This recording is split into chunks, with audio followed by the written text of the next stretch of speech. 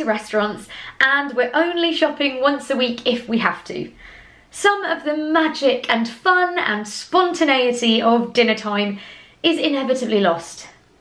To restore it, we can introduce a bit of randomness. Today is day seven of Stay in and Make Do and our project is going to be a dinner generator. We're going to tell our microbit what ingredients we have and it's going to invent a dish for us to cook. It might be horrible, but it won't be boring. All you'll need for this is your microbit and battery pack. No extras or wires or anything fancy. We'll start with some setup and some theory. In the advanced menu, ta-da, we've got a category called arrays. Arrays are a way of making lists of things that the computer can understand and manipulate. We're going to make a text list and we're going to call it ingredients.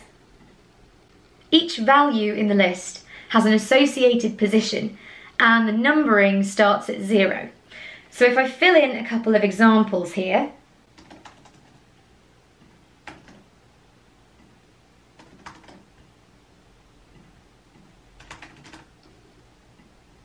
cheese is position zero, ham is position one, onion is position two, and so on. Later on we can access the individual things we have stored in this array using this block. We tell it which array we're interested in and which position in that array and it will fetch the value.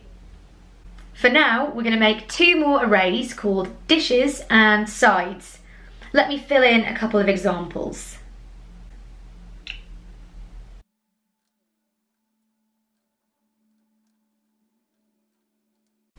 Our program is going to pick a number of ingredients, a dish to make with them, and a side to go with it. Think of it a bit like Mad Libs. It's going to say, make an ingredient, ingredient, dish with side. And it's going to do this when we press a button. So grab this on button A pressed. We want to pick a random one of the things from our list. And for that, we're going to need the random number generator from the math menu. But first, create three variables called number of ingredients,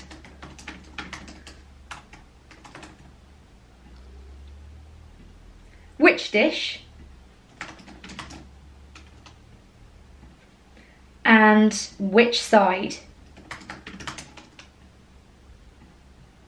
To pick a random number of ingredients, Let's set number of ingredients to pick random.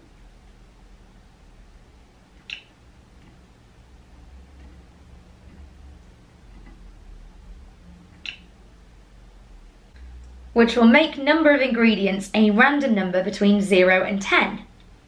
But 0 to 10 is not necessarily good for our purposes, so let's think about those bounds. We want at least one ingredient, so let's make the lower bound 1. What about the upper bound? What's the maximum number of ingredients we might want? Well, how many ingredients do we have? There's a block that will tell us. It's in arrays and then length of array. Which dish and which side are very similar, but with one important difference. This time we're picking the specific value we want, not the number of values. I said before, numbering in arrays starts at zero. So in this case, we want our random number to start at zero. Otherwise, we won't ever end up picking the first item on either of our lists. Just like the minimum is one lower than in the previous case, the maximum is also one lower than the previous case. If you have a list with three things, the length is three, one, two, three. But if the numbering starts at zero, zero, one, two, then the final item on the list is item two. So let's get something else from math.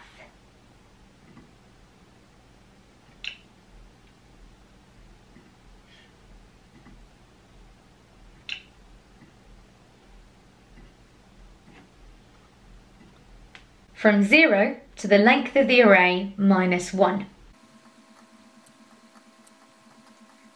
You might think we could have just counted how many things were in our arrays and put the actual numbers in. But doing it this way means we can change how many things are in our arrays and our program will still work. So as you run out of ingredients or stock up, you can change what's in the ingredients list and it doesn't matter. To display our randomly generated dinner, we'll need some show string blocks from BASIC. Start with a make a, and then we want to list our ingredients. This is the last tricky bit. Let's use a loop to do this.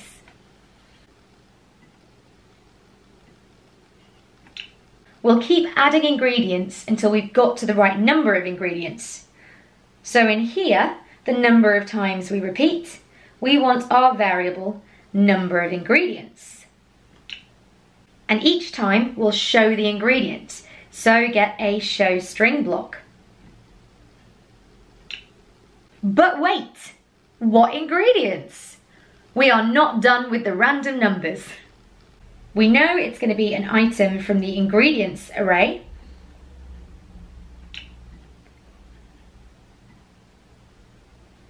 Now we need to generate a random position again.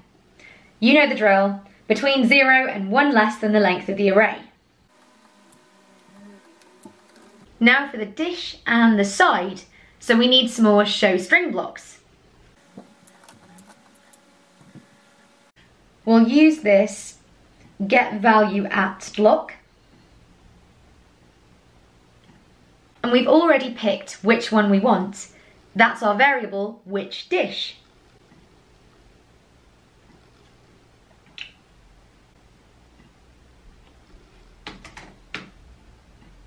Now for the sides.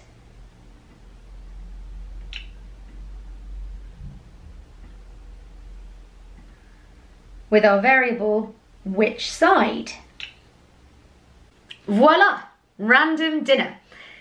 Except it disappears as soon as you're done reading it, because if you press the button again, it generates a whole new dinner.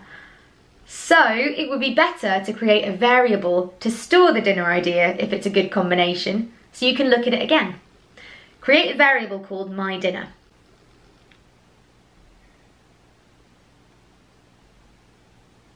Remember I said variables are like buckets? They can hold information and we can look back in later and change the info. Replace the first show string with a set my dinner to.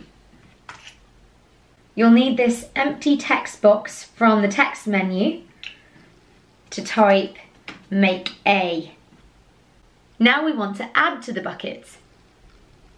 Here, where we're picking ingredients, we want to add each one to the bucket. So we need a set my dinner to in here.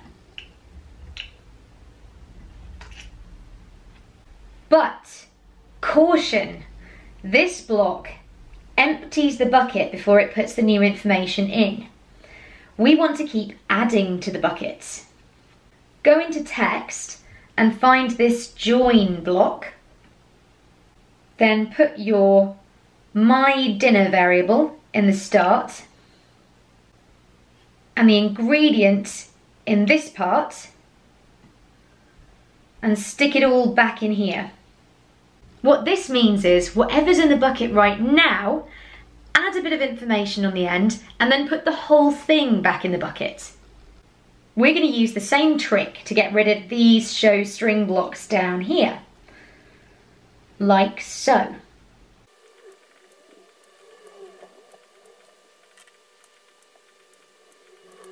But we do need to add one more show string block on the end to actually show all the contents of my dinner.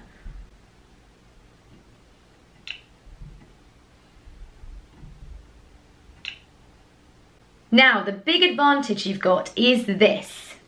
Grab another on button pressed block and change it to B.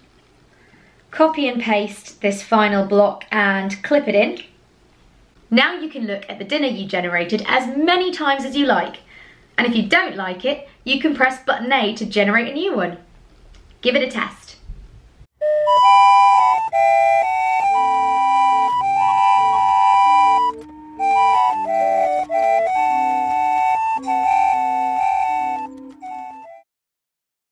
I've stored which dish and which side as variables because I think it makes it a little bit easier to see what's going on. But that's not strictly necessary. If you want to make your program a bit more concise and streamlined, you can do what we've done in the loop and put the random numbers into the line. You also may have noticed that there's nothing stopping my program picking an ingredient multiple times. One extension would be to make sure it can only pick each ingredient once. But be warned, it's trickier than it sounds. Here's the code I wrote to do that.